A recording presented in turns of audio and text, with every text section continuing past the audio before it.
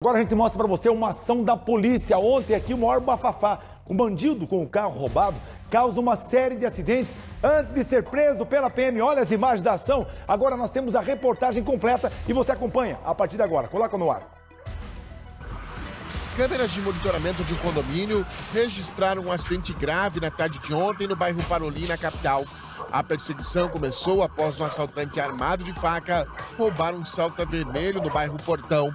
O ladrão, que mora no Parolim, foi interceptado na Avenida da República. Ao tentar fugir em alta velocidade, ele bateu o carro em outros veículos, deixando um grande prejuízo. Mas antes de ser preso, ele também colidiu numa caminhonete branca. Tentou fugir correndo a pé, mas foi detido pelos policiais, que correram atrás do ladrão. Uma viatura nossa estava sentido batalhão, ali na Kennedy, próximo ao Paládio, quando populares começaram a chamar a viatura.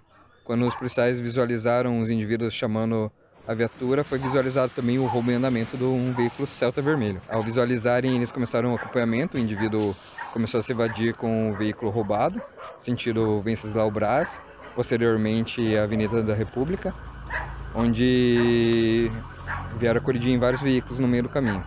Durante a ocorrência, a mulher do assaltante apareceu no local e começou a ofender os policiais militares, tentando jogar a população contra a PM. A mulher dele foi detida por desacato e levada para a delegacia. Um, dois detidos, é, um indivíduo que efetuou o roubo e uma mulher é, que desacatou a equipe policial. O indivíduo estava bem nervoso e alterado. A motorista da caminhonete branca, que foi atingida pelo assaltante, precisou ser socorrida e, de ambulância, ela foi levada para o Hospital do Trabalhador.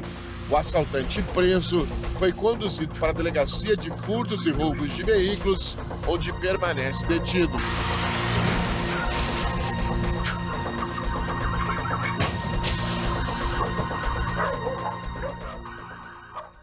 Olha, de fato as imagens são muito fortes. E agora